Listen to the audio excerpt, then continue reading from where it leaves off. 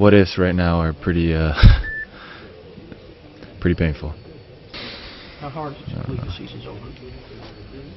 I mean, it's hard, I guess. I mean, we've been working at this for like months. Um,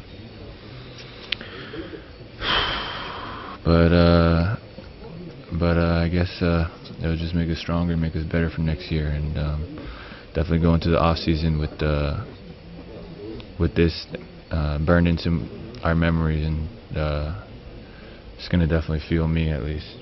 When Chandler got that putback, did you even allow yourself to think, okay, we got a game seven?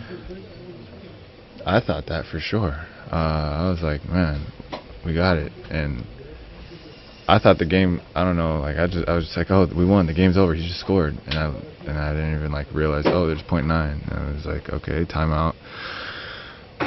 Worst case scenario, overtime, because we said no threes, but um,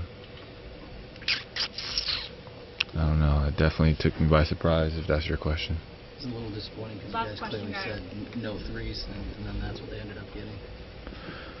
Yeah, I mean, I don't know. It's he's five feet behind the line, shooting a fadeaway three to the side. I mean, that's a tough, tough shot.